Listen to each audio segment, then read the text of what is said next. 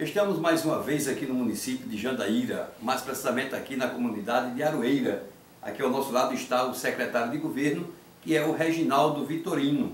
Reginaldo, é hoje um dia muito especial. Hoje o município de Jandaíra completa 55 anos de emancipação política. É, como você comenta, secretário, uma data tão importante é, que tem à frente dos destinos do município a prefeita Marina.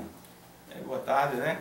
É, aqui a gente está fazendo um bom trabalho, viu? A Prefeita Maria vem desenvolvendo um trabalho excelente e nessa data de hoje não deixaria de comemorar os 55 anos da jovem Jandaíra, né? Jovem Jandaíra. Jandaíra. Jovem Jandaíra com a jovem prefeita. Com a jovem tem, prefeita. Tem 29 anos de idade, né? E vem fazendo um excelente trabalho na cultura, na educação, na agricultura e em todas as infraestruturas também. Bem, apesar de jovem, a prefeita Marina não vem medindo esforços é, para pro proporcionar o progresso do município e o bem-estar social dessa população maravilhosa. Reginaldo, aproveitando aqui o espaço do Portal Imprensa, é, que pedido você lembraria é, ou faria de modo especial é, a futura governadora também, a governadora é, Fátima Bezerra, que vai é, conduzir os destinos do Estado a partir do dia 1 de janeiro próximo, é, para que atendam a necessidade maior aqui do município.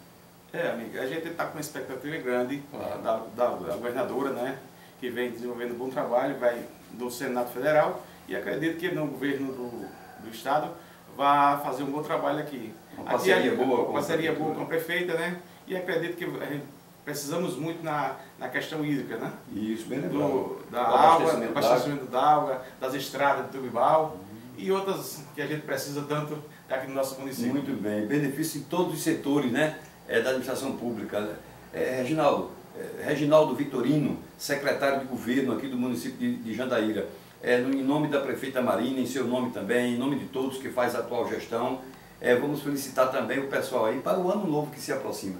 É, sua mensagem de ano novo para esse povo maravilhoso, essa população guerreira, essa população brava e hospitaleira aqui do município de Jandaíra.